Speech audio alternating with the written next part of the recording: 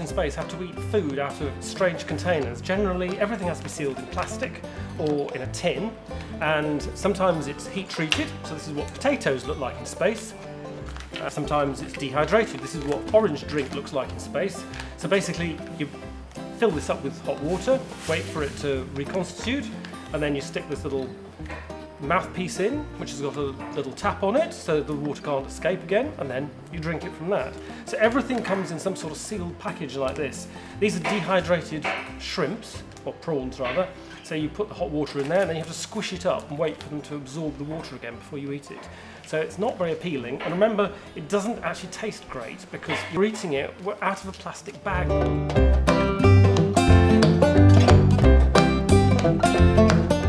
How you would normally eat food on the ground, you'd probably tip it out onto a plate and eat it with a knife and fork. Of course, if you do that in space, not only will the plate float away, but even if you attach the, the plate to the surface, the food will float away on it.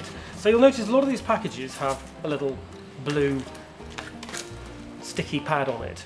So they'll usually have a tray or something else near them which has got a velcro pad and they attach the food to those pads. They cut the top off and then eat it with a spoon and are very careful to make sure they keep it very close to their mouth. So it's not exactly a gastronomic experience for most of them. The other thing they love is to share it. So think about foods that you can share. So they often throw food. So they have tortilla um, uh, wraps, for example, and you can treat them like frisbees. So they'll throw them to each other and tear a bit off and throw them back.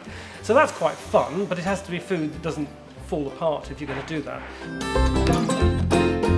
So what are the most important things to consider? Well, the first thing is it's got to taste great because astronauts' sense of smell is worse in space, so they're not quite so, they don't find the food so appetizing.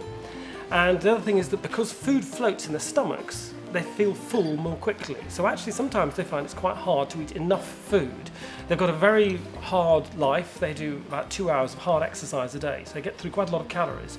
So it has to be delicious so that they want to finish it. Otherwise we're wasting food. We can't afford to send it into space and then not eat it.